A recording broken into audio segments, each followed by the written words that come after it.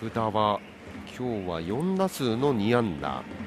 で4月17日のファイターズ戦でプロ初打点も挙げたという、まあ、ちょうどその日が23歳の誕生日だったというゲームでした。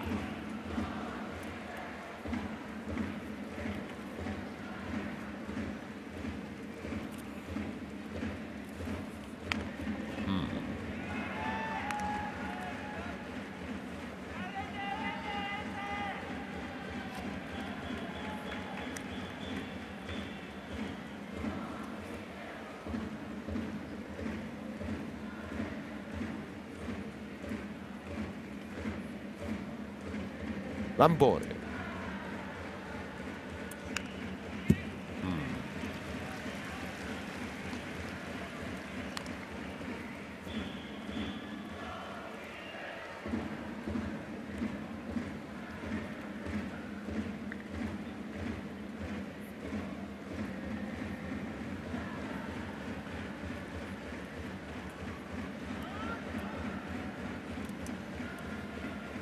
先頭打者を歩かせてしまった柳。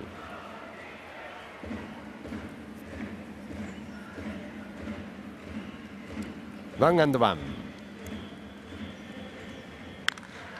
引っ張って残りました。サンチェスがサードを回ってホームイン。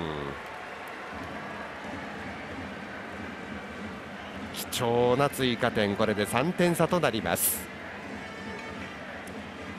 うん福田は今日3安打の猛打賞。ここで栗山監督出てきて投手交代を告げます。まあやる気も出てきていきなり先頭バッター歩かせたというまあ西山さんあの非常にね非常にガッツあふれるのが柳のいいところではあるんですけれどもそうですね、だからフォアボールなんて野球につきものといえばそこまでなんですけど、はい、